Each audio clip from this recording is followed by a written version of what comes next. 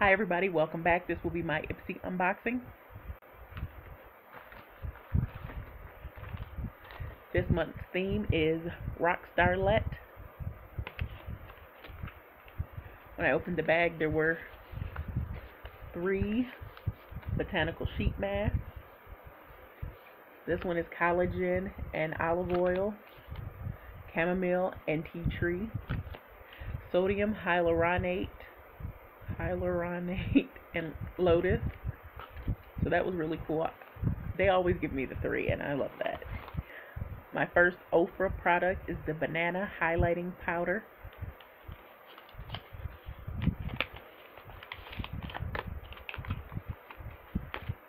You get a nice little pan.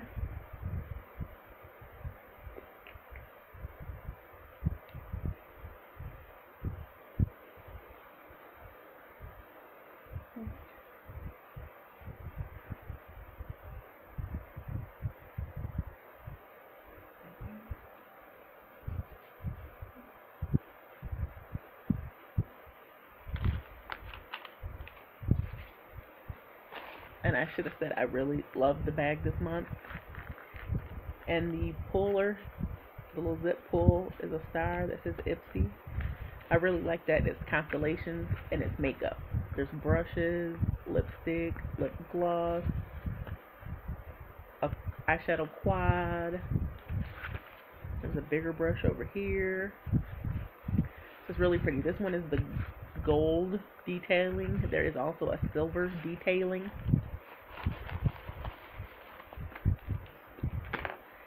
I got a mascara from the Balm. It's Mad Lash, the black mascara. And it has a weird container. But this is the brush, which I think is really nice. It's got a nice curve to it.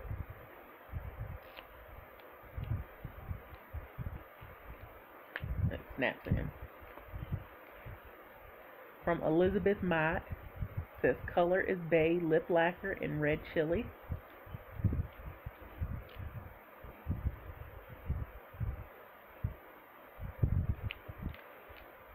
Beautiful red.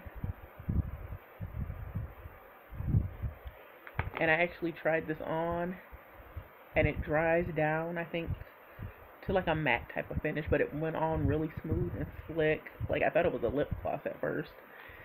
And it dried down really nice. My lips never felt dry when I was wearing it, so I'm very impressed with that.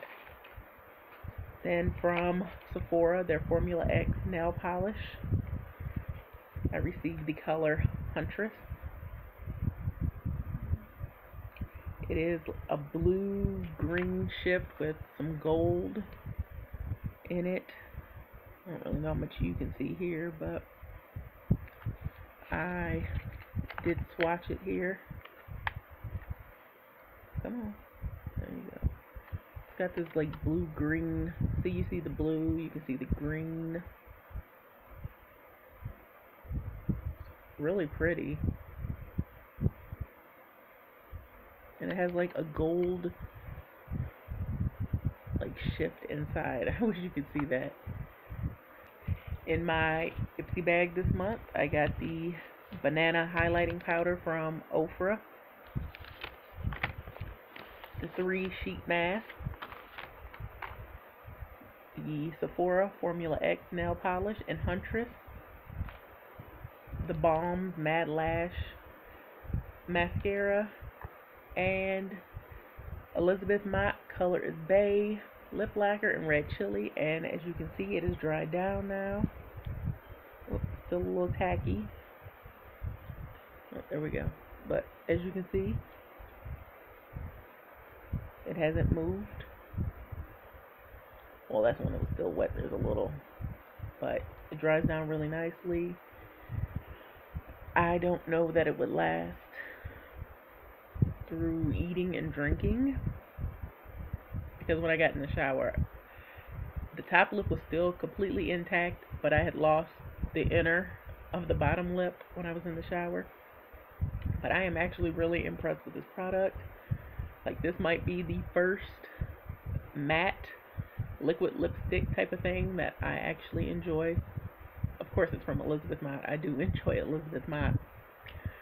Alright, I hope you guys enjoyed my unboxing. Link me to yours. I love to see what everyone gets in theirs. Thank you for viewing. If you enjoyed, please hit that thumbs up. Please subscribe if you haven't. I would love to have you. If you have already subscribed, thank you very much. I want you guys to be safe, be well. Peace.